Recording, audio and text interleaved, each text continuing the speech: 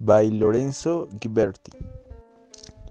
Gates of Paradise. Lorenzo Ghiberti was a sculptor, goldsmith, architect, and Italian art right of the Quattrocento. He began his artistic activity as a goldsmith. Nevertheless, it did not gain fame until 1401 when it participated in the contest to decorate the second door of the vast district of the Cathedral of Florence, where I managed to win. His triumph in the contest was decisive for his life, since the magnitude of the task required the creation of a large workshop, which would become the main one in the city for half a century. In him important figures of the Italian Renaissance were formed like Donatello, Michelozzo, Uccello, Masolino, and Filarete. His work, The North Gate, was successful. Later, the merchants of the Guild of Florence commissioned him to direct another door to the baptistery that ended in 1452. It's decorated with 10 bronze bas reliefs depicting scenes from the Old Testament in a totally different format and style than the previous ones.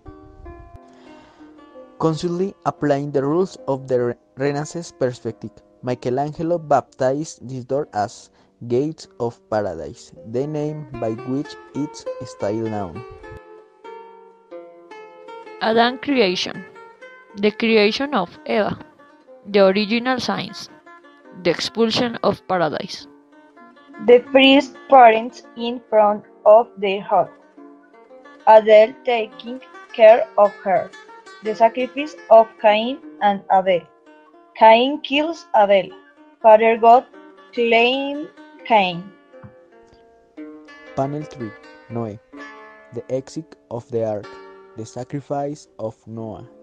The drunkenness of Noah. Panel 4 Abraham. The meeting of Abraham with the three angels. The sacrifice of Isaac. Rebecca praying to God. Rebecca giving life. Esau sells your primogeniture to Jacob. Jacob brings a goat. Isaac bless Jacob. The sale of Joseph to the merchants. The storage of the grain. The discovery of the silver cup. Panel 7 Moses. Moses receives the tables of the law, the people waiting. Panel 8 Josue.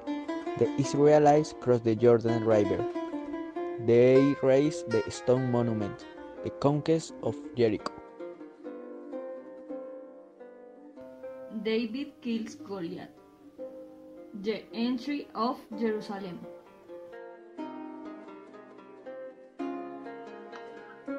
Solomon finds the Queen of Sheba.